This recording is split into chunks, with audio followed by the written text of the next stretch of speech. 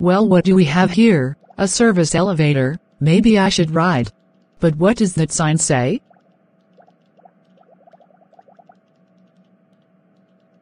I don't care what that sign says, I'll ride the service elevator no matter what.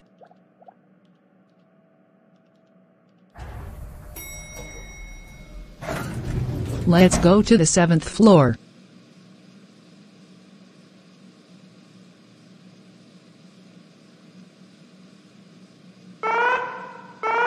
Warning, passenger alert, passenger alert, passenger alert, passenger alert, passenger alert.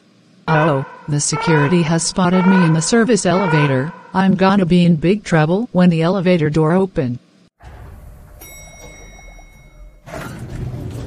Miss, you can't ride the service elevator if you're a passenger. Our cameras detected that you were a passenger riding the service elevator when the sign said no passengers allowed. The service elevator is for employees and staff only, not for passengers. That's it. You're kicked out from this building. Go home right now. Heather, we just got a call from a security officer from the seven-story tall building. He told us that you took the service elevator while you were a passenger and got kicked out. You know the service elevator is not for passengers. Your father is right, Heather. The service elevator is for employees and staff, not for passengers. But mom and dad, I'm sorry. Nope, we don't want to hear any sorries from you. You were grounded for a week, now go to your room. You're the worst parents ever.